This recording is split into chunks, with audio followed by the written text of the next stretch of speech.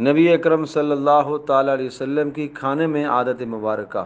آ حضرت صلی اللہ تعالیٰ علیہ وسلم کبھی کبھی بھوک کے مارے اپنے مبارک پیٹ پر پتھر بھی باندھ لیا کرتے تھے اور یہ اس لیے ہوتا تھا تاکہ بھوک کی شدت محسوس نہ ہو۔ اور جو بھی آ حضرت صلی اللہ علیہ وسلم کو حلال میں سے میسر ہو جاتا اسے آپ تناول فرما لیا کرتے اور حلال کے معاملے میں آپ تکلف نہیں فرماتے تھے، کبھی کھجور میسر ہو جاتی اسی کو کھا لیا کرتے، بھنا ہوا گوشت ملتا وہی آپ تناول فرما لیتے اور روٹی یا گھیوں یا جو وغیرہ میسر ہو اسے کھا لیا کرتے تھے، دودھ میسر ہو اسی پر اکتفا فرما لیا کرتے تھے اور خربوزے اور تر کھجوروں کو آ حضرت صلی اللہ علیہ وسلم دونوں کو ایک ساتھ جمع کر کے بھی کھا لیا کرتے تھے۔ پیارے پیغمبر صلی اللہ علیہ وسلم کا کھانے سے متعلق کوئی تکلف نہیں تھا۔ حلال کھانے میں سے جو چیز میسر ہو جاتی، اسے آپ قبول فرما لیا کرتے۔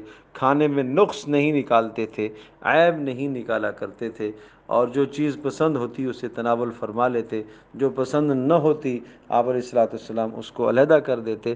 لیکن حضرت صلی اللہ علیہ وسلم کبھی کھانے کے اندر عہب نہیں نکالا کرتے تھے۔